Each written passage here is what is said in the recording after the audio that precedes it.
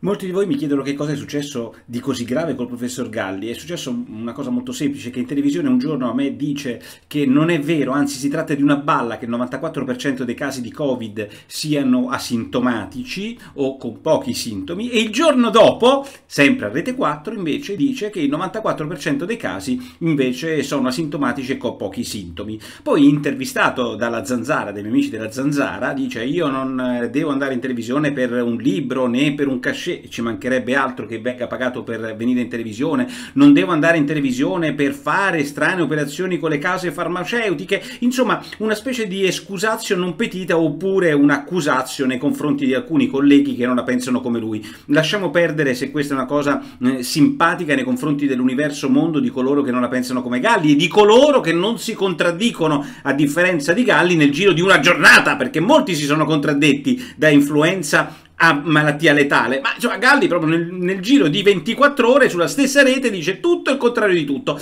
Però il punto fondamentale quindi non è tanto gli interessi economici, c'ha la ragione uno straordinario Alexandre Dumas quando diceva io preferisco i mascalzoni agli imbecilli perché i primi cioè i mascalzoni, ogni tanto si danno una pausa. Ecco, eh, Galli una pausa non se la dà mai, è sempre in televisione, è sempre lì a dirvi che abbiamo sbagliato a fare l'estate, che stiamo per morire tutti quanti, che non sono asintomatici, se non che quando qualcuno gli fa una domanda, una domanda, Galli lo definisce un energumeno. In realtà si chiama democrazia, oppure anche televisione, in fondo, dove i giornalisti, se invitati, cercano di fare qualche domanda a questa specie di guru del virus che però abbiamo visto si contraddicono nel giro di 24 ore. Ciao!